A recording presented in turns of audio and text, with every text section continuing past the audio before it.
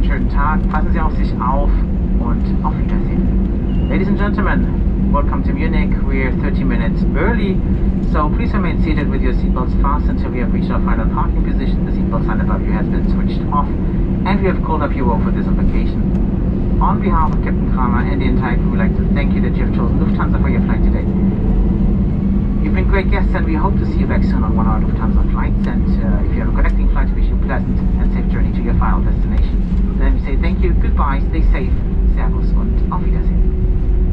Meine Damen und Herren, wenn wir Sie Ihre Sitzreihe später aufrufen, öffnen Sie die Staublöcher über Ihnen bitte vorsichtig, Objekte herausfallen könnten und schauen Sie unbedingt noch einmal in die Sitztaschen. Vorsicht, dass Sie keine privaten und wichtigen Gegenstände hier an Bord vergessen, beispielsweise Ihren Reisepass, Ihr Telefon oder Ihr Tablet. Vielen Dank und auf Wiedersehen. Ladies and gentlemen, later on when we call up your for disembarkation, please open your wind storage bins carefully because objects could have shifted and could fall out and have absolutely one small look in its pockets in front of you that you don't forget any private and important items here on board as your passport, your phone or your tablet.